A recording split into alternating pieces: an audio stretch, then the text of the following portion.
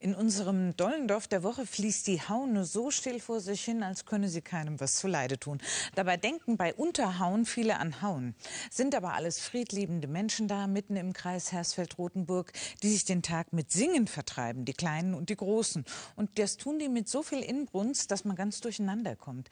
Denn Hessen liegt doch nicht am Meer, aber eigentlich war es wie ein Ausflug an die Küste. Unterhauen im Kreis Hersfeld-Rotenburg. Vermeintlich weit weg von der Nordsee hat man Shantychor und eine Eisenbahnstrecke. Probieren wir später einfach nochmal. Es gibt aber auch ganz stille Stellen in Unterhauen, zum Beispiel am Kunstwanderweg. Rasender Stillstand heißt das Kunstwerk hier. Oder die Schatztruhe zwischen zwei Bäumen mit den Namen, die Hexe sagt, nicht öffnen. Es wird die Neugier angeregt, in die Kiste hineinzusehen. Der Schlüssel steckt. Aber die Kiste hängt zu hoch.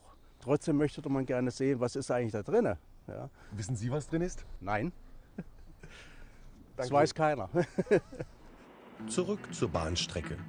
Die ist gewissermaßen eine richtige Sehenswürdigkeit in Unterhauen. Also zumindest der Bahnübergang. So ungefähr 300 Mal am Tag geht die Schranke hoch und runter. Und als einer der letzten Bahnübergänge in Hessen wird er noch handbetrieben. Und das, obwohl direkt daneben Strom erzeugt wird. An der Haune gibt es nämlich noch eine richtige Mühle. Nur, wo ist eigentlich das Mühlrad?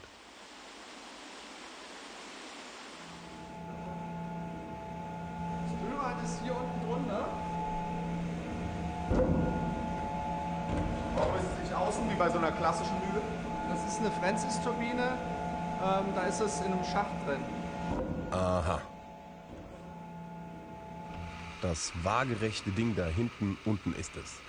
Und sobald Wasser durch die Kammer läuft, ist von dem Mühlrad nichts mehr zu sehen. Dafür treibt es oben dann einen Riemen an und erzeugt Strom. Früher sah die Mühle mal so aus.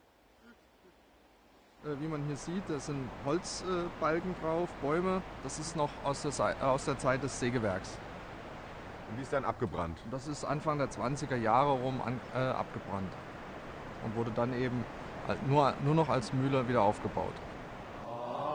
Ach, schön ist. Die Haune und die Mühle. Und was machen unsere Seemannslieder? Nee, gerade schlecht. Da fährt ein Zug. Dann lassen wir erstmal die kurzen singen. Die machen mit ihrem Kindergarten Villa Kunterbund einen Ausflug zu den Eisenbahnfreunden. Eine ganze Halle voller Modelleisenbahnen. Für alle, die keine Ahnung haben, wie das funktioniert, Luke kann's erklären, oder? Na dann los. Die hat eine Kolbenstange, dass sie ihre Räder vorbewegen kann und zurück. Sie hat einen Steuernstein, um da Dampf rauszukommen. Und manchmal stehen auf den kleinen Tiere wie Bären oder so. Bären haben wir auf der Strecke jetzt nicht gesehen, aber wenn Luke das berichtet, wird es wohl stimmen.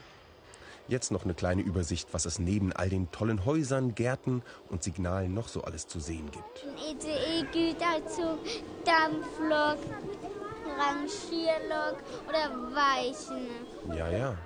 Die Kinder in Unterhauen werden nach dem Ausflug wahrscheinlich alle Lokführer. Noch ein Wetterrundlauf als Was denn? Selbstverständlich. Nächster Versuch bei unserem Shantychor. Ach, kein Zug.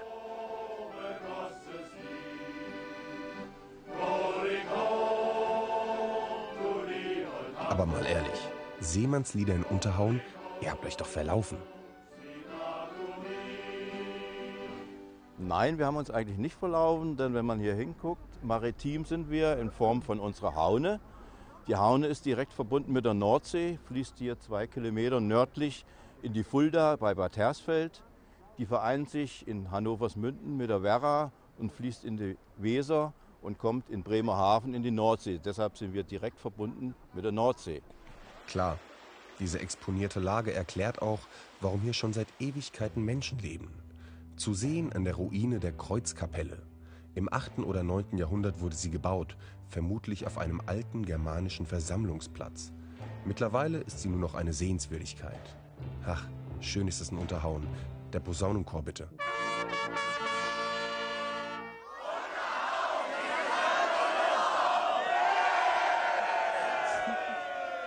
Aber hallo.